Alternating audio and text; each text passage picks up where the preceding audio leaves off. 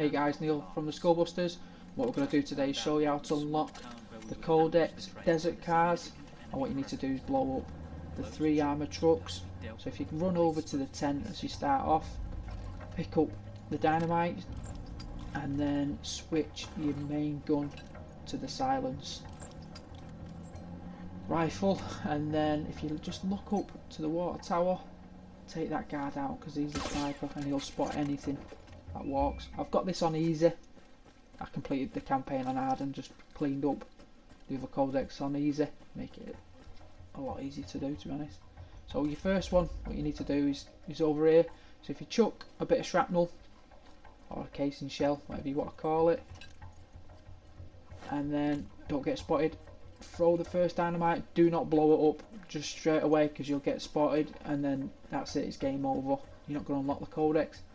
Uh, the next one is just over the right hand side here, so what you need to do is just bank round, as you'll see. So don't blow it up, what you need to do, is, like I say, is just plant each one and then on the last one, that's when you can just blow it to smithereens. Uh, yep, yeah, so again, make I crouch round here because there's a guy here.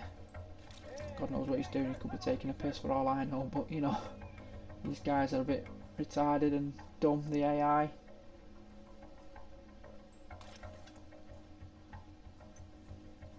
So there we go. There's the second one.